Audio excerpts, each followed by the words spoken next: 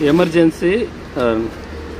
emergency alert extreme this is sample testing message you get all mobiles you are getting messages like this just press ok no need to panic just uh, cell